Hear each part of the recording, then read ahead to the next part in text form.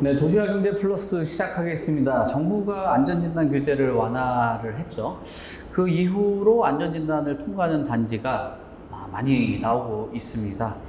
어, 서울의 주요 재건축 사업지들 또 상계동, 목동은 최근 기대감들이 커지면서 각광을 받고 있는 상황입니다. 월계동에 있는 미미삼이라는 단지, 어, 미룡, 미성, 어, 3호 이곳에 대단지 아파트가 들어설 수 있다라는 기대감들을 갖고 있거든요. 지금 그 내용들 가지고 어, 이야기 한번 나눠보도록 하겠습니다. 김예린 변호사님 모시고 이야기 나눠보도록 하겠습니다. 안녕하세요. 안녕하세요. 김예린 변호사입니다. 네, 최근에 제가 상담하는 거 얘기를 들어보니까 어, 이 미미삼 관련돼 가지고 상담 문의가 많은 것 같은데 이 관련된 단지 소개 좀 부탁을 드릴게요.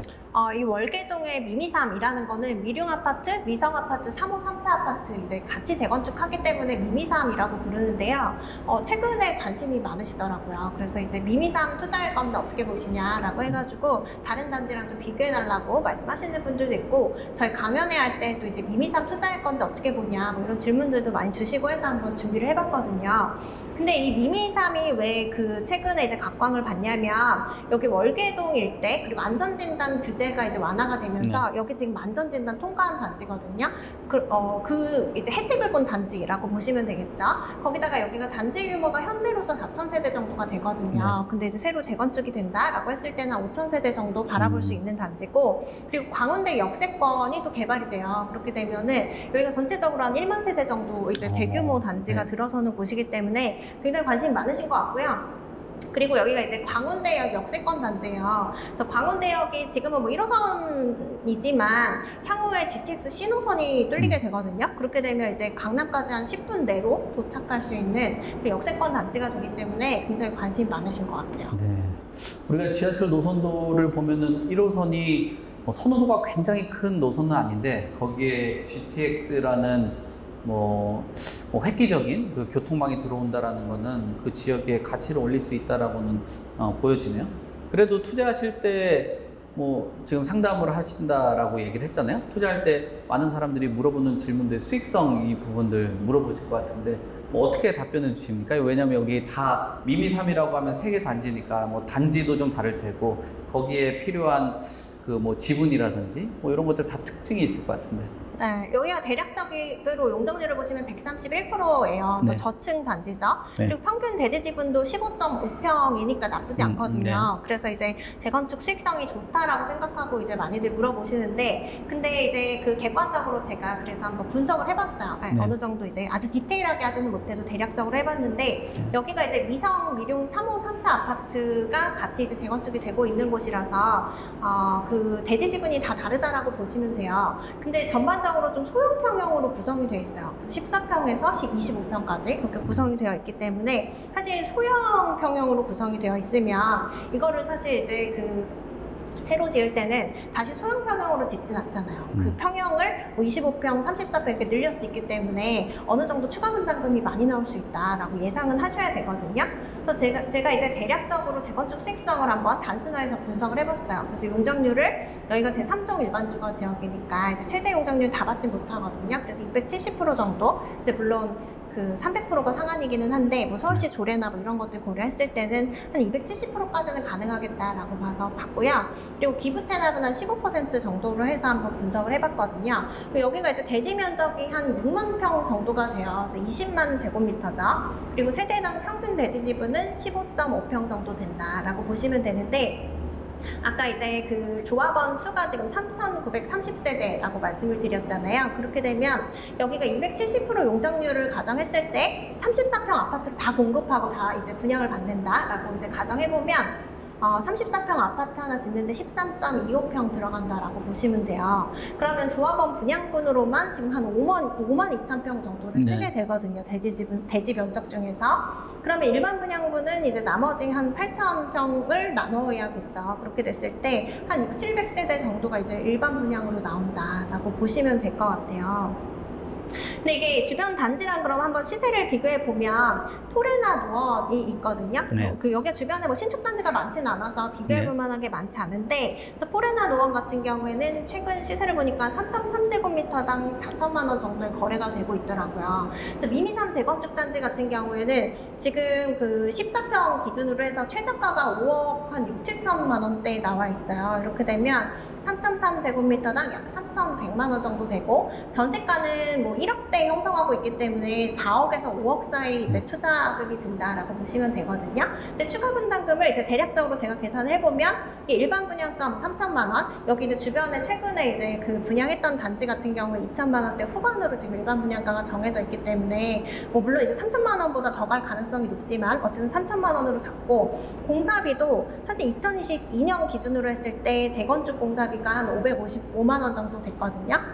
그리고 지방 같은 경우에는 어 이제 900만 원대 공사비가 이제 막 제한이 될 정도로 상당히 공사비가 많이 올랐다라고 보시면 되는데 어 보수적으로 잡았어요. 그냥 그, 그 공사비 평균 그러니까 어 500만 원 정도. 그래서 좀 적게 잡았죠. 공사비 평균 공사비 자체를 그렇게 이제 계산해 보면은 3.3 제곱미터당 추가 분담금이 한 1,200만 원 정도 더 들어간다라고 보실 수가 있을 것 같아요. 그럼 지금 미미삼 재건축 단지를 사신다라고 하면은 어, 총 매매가가 평당 이제 조합원 분양을 받으시면 어, 4천 2, 300만 원 정도 이제 분양을 받으신다라고 볼 수가 있기 때문에 이제 주변의 신축 단지에 비해서는 지금 좀 비싸죠. 음, 만만치 않은 그런 상황이네요. 그리고 아까 평균 공사비 500만 원이라는 거는 변호사님이 어, 굉장히 보수적으로 지금 접근을 해주시면서 어, 가이드를 주신 것 같습니다. 지금 뭐 또 최근 들어서 부실 시공 관련돼서 시공 기간이 좀 늘어진다, 감리가 굉장히 타이트해진다라는 이슈들이 남아 있기 때문에 굉장히 유동성이 있는 어, 공사비라는 걸 좀 참고를 하시면 좋을 것 같습니다.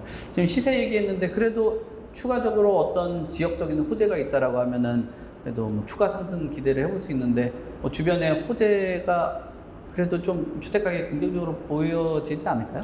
네, 오를 가능성이 높죠. 왜냐면 여기 GTX C 노선이 지금 아까 네. 말씀드린 대로 광운대역에 이제 2028년 개통 예정이기 때문에 음. 이렇게 되면은 삼성역까지 8분밖에 안 걸리고요. 음. 그리고 그 청량리까지 3분이거든요. 아, 네? 그렇게 네. 되면 청량리에서 또 여의도나 뭐 이런 것들로 접근이 빠른 시간 내에 가능하기 때문에 교통이 상당히 좋아지는 역세권 단지가 되는 거죠. 그리고 이제 아까 말씀드린 것처럼 광운대 역세권 개발이 예정이 돼 있어요. 그래서 여기는 보면 면적이 24만 제곱미터 정도가 되거든요. 네. 네, 여기 보면은 이제 민자 역사랑 물류 시설이 같이 음. 들어와서 주상복합 형태로 지어진다라고 보시면 되는데 오피스텔이랑 아파트가 한 4천 세대 정도가 또 음. 들어오게 되거든요. 그리고 시공사는 지금 HBC 음. 현대산업개발이고 준공 예정은 2028년인데 더 늦어질 것 같기는 해요. 네. 네, 이렇게 봤을 때는 사실 이 지역이 굉장히 좋아질 수는 있기 때문에 음. 어, 상당히 시세를 견인하는 역할을 하기는 하겠죠. 네. 2028년보다 좀 늦어질 수 있다. 그 일정 부분 가격이 선반영되는 점도 있으니까 좀 잘 확인을 해주시면서 어, 접근하시면 좋겠습니다. 그리고 이 지역에 이 아파트가 너무 부담스럽다. 재건축 아파트는 어, 투자를 하는 데 있어서 내 자산 여력 대비했을 때 포트폴리오를 좀 벗어났다라고 생각을 하시는 분들도 있을 텐데 소액으로 좀 접근할 만한 뭐 투자 지역이나 투자 상품이 좀 있을까요? 그이 재건축 같은 경우에는 지금 공사비가 상당히 많이 오를 가능성이 높기 때문에 사실 신축에 비해서 좀, 좀 비싸다라고 보실 음. 수가 있을 것 같아요. 그리고 이제 미미삼 재건축 같은 경우에도 가장 작은 평수 투자를 하시더라도 지금 4억대에서 5억대 투자금이 들어가기 때문에 좀 만만치 않죠. 그리고 대체 투자할 수 있는 곳들이 많다라고 보실 수가 있겠는데 1, 2억대로 이제 투자할 수 있는 곳도 찾아볼 수 있어요. 그래서 네. 주변에 뭐 상계동 재개발 구역이라던가 또는 이제 모아타운 후보지들이 있거든요. 근데 이제 월계동에도 물론 모아타운 후보지가 있는데 월계동 쪽은 좀 장이동에 더 가깝다라고 보이기 때문에 그렇죠. 제가 음. 가지고 온 거는 석관동 모아타운 후보지 두 곳이에요. 그래서 보시면은 석관동에 모아타운 후보지가 두 곳이 있는데 333, 아, 334-69번지 일대 그리고 261-22번지 일대거든요. 그래서 먼저 이제 334-69번지 일대를 보면은 여기 한 7만 4천 제곱미터 정도가 이제 대- 개발이 되는 거고 관리처분 계획을 수립하고 있어요. 그리고 이제 261-22번지는 한 4만 8천 제곱미터 정도가 되고 여기도 마찬가지로 관리처분 계획을 수립하고 있거든요. 근데 여기 특징이 뭐냐면은 SH 공공관리 시범 사업으로 지금 진행이 네. 되고 있는 곳이에요. 그래서 이게 그 얼마 전에 건동 같은 경우에는 통합심의 최초로 통과했거든요. 네. 여기 이제 서울시에서 공공관리하는 시범 사업지다라고 보시면 되는데 어, 이 석관동 같은 경우에는 서울시와 SH 그래서 공공관리 시범 사업지 중에 하나이기 때문에 간단히 말씀을 드리면 그 모아타운 이라는 게 잘 되려면 일부 성공하는 단지들이 나와야 되는 거잖아요. 그래서 그 이제 지원을 해서 SH나 뭐 이런 곳에 SH에서 지원을 해서 어 뭐 여러 가지 사업성 분석도 해주고 그리고 뭐 구역이나 뭐 이런 것도 설정하는 것도 도와주고 뭐 이런 것들을 그 적극적으로 지원을 해서 사업이 좀 잘 되도록 하는 음. 어, 시범 단지다라고 보시면 될 것 같아요. 근데 이제 물론 항상 모아타운 투자 같은 경우에는 말씀드리지만 이게 좀그 그 동의율 30%만 거두면 사실 모아타운 후보지 신청이 가능하기 때문에 좀 우후죽순 개발 사업지들이 늘어나고 있어요. 그리고 이 안에서도 사실 이제 신축 빌라나 뭐 이런 것들이 짓다가 갑자기 모아타운 추진이 돼서 뭐 권리 산정 기준일에 좀 걸린다거나 뭐 이런 일들이 종종 발생하고 있기 때문에 매물 분석을 정말 잘 하셔야 돼요. 그래서 모아타운 같은 경우에는 이 매물 분석을 제대로 못 하시면 나중에 단독 입주권 못 받게 될 위험이 좀 크다라고 보시, 보실 수가 있기 때문에 뭐 이런 것들을 좀 잘 확인을 하셔야 되는 거죠. 음, 네. 지금 뭐 단독 입주권 이슈도 있고 최근 들어서는 어, 모아타운 철회 사업지들도 나오고 있는 상황입니다. 그- 그만큼 주변에 있는 어, 환경이라든지 뭐 시축 빌라가 들어와서 개발이 되는 경우도 있고 또 되지 않는 경우들도 있습니다. 그러니까 두 가지가 혼재되어 있고 어, 금액이 낮으면 낮을수록 그만큼 난이도가 더 높다라고도 평가를 해볼 수 있거든요. 오히려 어, 앞에 말씀한 그 재건축 단지 같은 경우는 오히려 좀 안정적일 수는 있다라고도 볼 수 있습니다. 다만 소액으로 접근을 하고 이렇게 난이도가 있는 부분은 법적인 어, 부분, 뭐 경제적인 부분 또 어, 수익, 뭐 전체적으로 타당성을 조사해 볼 필요가 있지 않나 아, 그렇게 보여집니다. 그래서 어, 김예림 변호사님이 모아타운 관련돼서 최근 들어서 여러 상담들을 진행을 하고 있는데 아래에 나와 있는 어, 연락처로 연락을 주시면은 김예림 변호사님하고 직접적으로 모아타운 관련된 어, 투자 상담, 그 외적인 사업도 어, 또 상담을 해볼 수 있다라고 말씀을 드리겠고요. 또 저희가 부동산 강연회를 지속적으로 하고 있으니까요. 앞으로 뭐 추가적으로 공지를 해주면은 관심 있으신 분들 어, 연락처로 신청을 하시면은 어, 추후에 일정들 통보를 하는데 도움을 드리도록 하겠습니다. 오늘 도시화 경제 플러스 어, 안전진단 이슈, 또 미미삼 단지, 그리고 어, 이 일대 소액으로 접근할 수 있는 투자처까지 아, 알아봤습니다.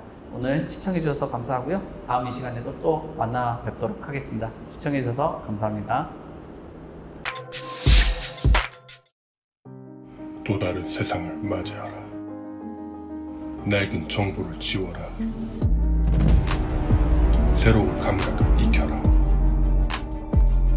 변화하는 미래에 맞서라. 편향된 시각을 버리고 얽혀있는 도시 속 독보적인 가치를 쟁취해라. 당신이 만드는 미래의 기회. 도시화 경제.